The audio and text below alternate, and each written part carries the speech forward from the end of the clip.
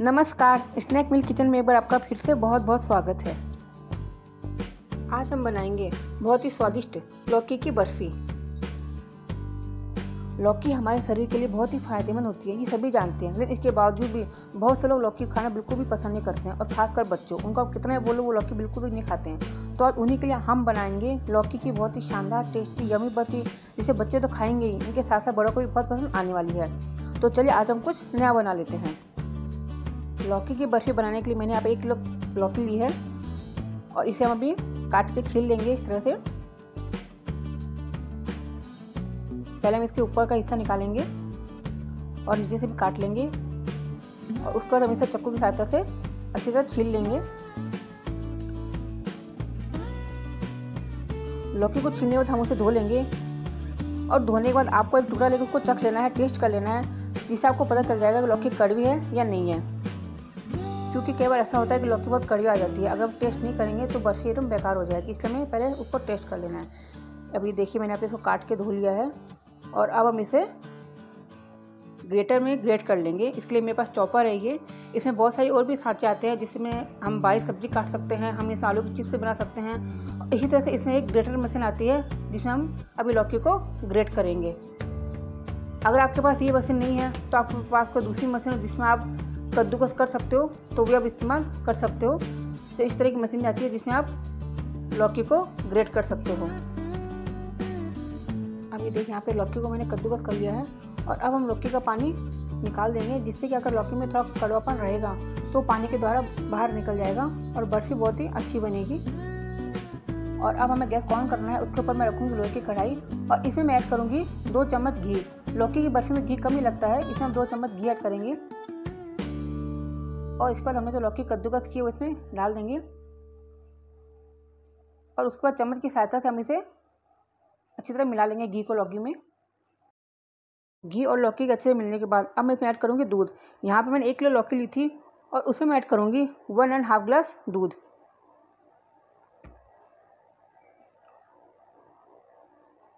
दूध को डालने के बाद हम इसे अच्छी तरह मिला लेंगे।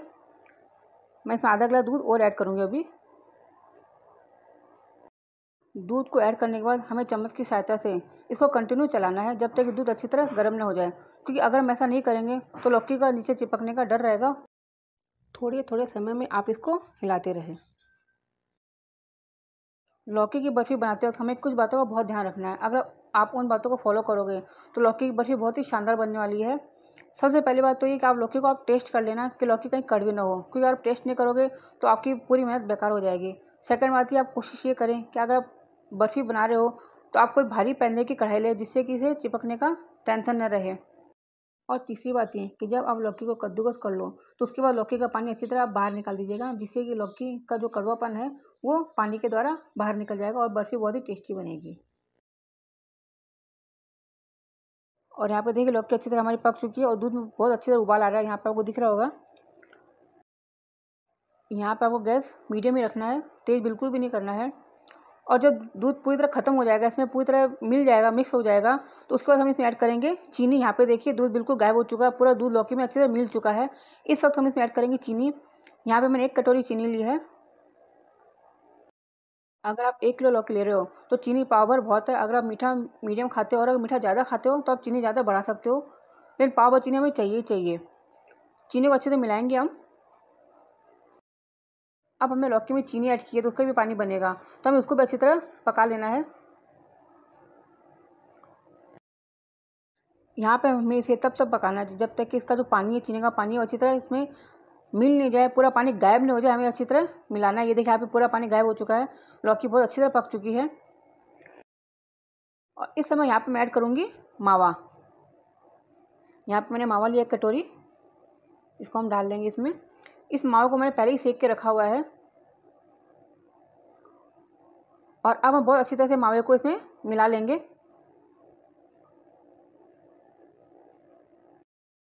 मावे को इसमें ऐड करने के बाद हम इसे कंटिन्यू चलाते हुए मावे को अच्छी तरह लौकी में मिला लेंगे। और देखिए मैंने मावे में लौकी अच्छी तरह मिला ली है। और आप देख रहे हैं कि मावा बिल्कुल अच्छी तरह मिक्स हो चुका है। इसमें चीनी का पानी भी नहीं है, इसमें दूध भी नहीं है मतलब ये लौकी की बर्फ़ी बनकर तैयार है। अब आप सोच रहे होंगे कि लौकी की बर्फ़ी का कलर ऐसा क्यों है? कोई भी लौकी बर्फ़ी बनाता है तो उसका कलर ऐसा ही आता है। उसको अच्छा कलर देने के लिए सभी उसमें फ़ूड कलर का इस्तेमाल करते हैं, जो मैं भी करने वाली हूँ, जिससे कि देखने में सुंदर लगे।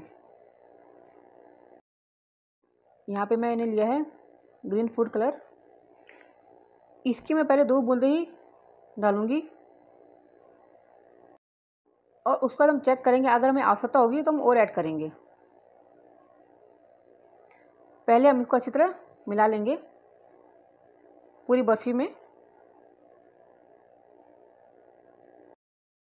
क्योंकि कहते ना कि जो चीज़ देखने में सुंदर लगती है, उसको खाने का मन करता है। इसलिए हम इसमें फ़ूड कलर इस्तेमाल करेंगे इसको सुंदर दिखाने के लिए।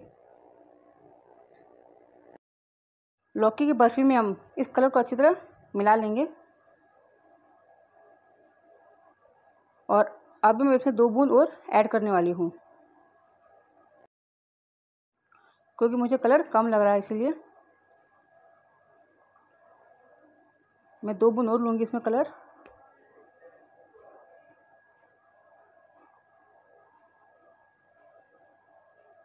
और उसके बाद हम इसको अच्छी तरह मिला लेंगे। और अब देखिए लौकी बर्फ़ी में बहुत ही शानदार कलर आया है। इसको हम अच्छी तरह मिला लेंगे। और उसके बाद हम इसमें ऐड करेंगे थोड़े से ड्राई फ्रूट्स। ड्राई फ्रूट्स में यहाँ पे मैंने लिया है काजू और बादाम, जिसको मैंने बारीक काटा हुआ है। अभी इसको हम आधा ही मिलाएँगे और आधा बाद में मिलाएँगे। जिससे कि बर्फ़ी का स्वाद बहुत ही अच्छा आने वाला है।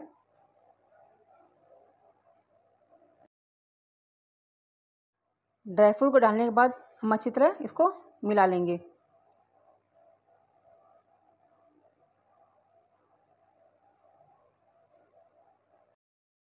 ड्राई फ्रूट को अच्छे मिलाने के बाद हम गैस ऑफ़ कर देंगे और उसके बाद हम लौकी की बर्फ़ी को जमाने की तैयारी करेंगे, जिसके लिए हम लेंगे एक थाली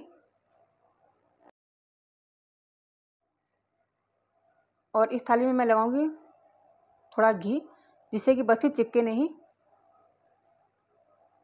और उसके बाद हम बर्फ़ी को इसमें डाल देंगे।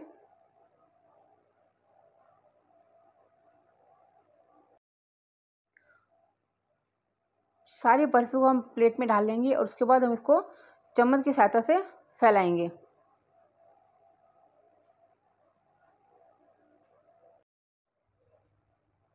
हमें इसको बिल्कुल बराबर जमाना है, कहीं से मोटा, कहीं से पतला नहीं होना चाहिए, नहीं तो अच्छा नहीं लगेगा। ये देखिए, यहाँ पे बहुत अच्छी तरह मैंने इसको जमा लिया है। और अब जो बाकी काजू बादाम बचे हुए थे उससे हम इसमें गार्निश करेंगे। इसको हमें गर्म में ही लगाना, ठंडे में नहीं लगाना, क्योंकि अगर हम ठंडे में लगाएँगे तो ये अंदर सेट नहीं होंगे और ऊपर बिखरे हुए दिखेंगे।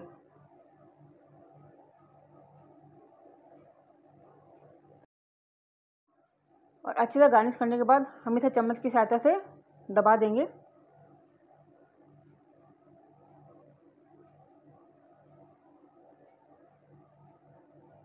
इस तरह से, ताकि काजू बादाम अच्छी तरह इसमें सेट हो जाए। ये देखिए, यहाँ पे मैंने अच्छी तरह इसको सेट कर दिया है। और अब हम इसे ठंडा होने के लिए छोड़ देंगे।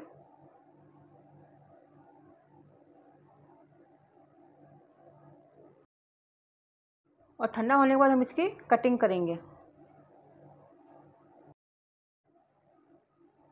इसकी कटिंग आप जैसी चाहो वैसी कर सकते हो। आप चाहो तो उसको चौकोर काट सकते हो और चाहो तो कतली शेप में भी इसे काट सकते हो।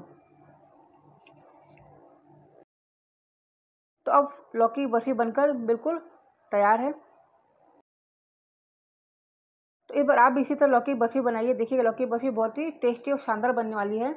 तो आज की वीडियो कैसे लगी मुझे कमेंट बॉक्स में ज़रूर बताइए। अगर वीडियो पसंद आया हो तो मेरी इस वीडियो को लाइक कीजिए शेयर करते रहिए अपनी फैमिली और फ्रेंड्स में। और अगर आप मेरे चैनल को पहली बार देख रहे हो तो मेरे चैनल को सब्सक्राइब करके बेल आइकन को प्रेस कर दीजिए। और अगर आप फेसबुक पे हो तो मेरे पेज को लाइक कर दीजिए। और अगर आप अपने पसंद की कोई रेसिपी देखना चाहते हो तो मुझे कमेंट बॉक्स में ज़रूर बताइए। मैं कोशिश करूँगी आपको बना के वो दिखा सकूँ। तो चलिए, अब मिलते हैं नई वीडियो में नई रेसिपी के साथ। Thank you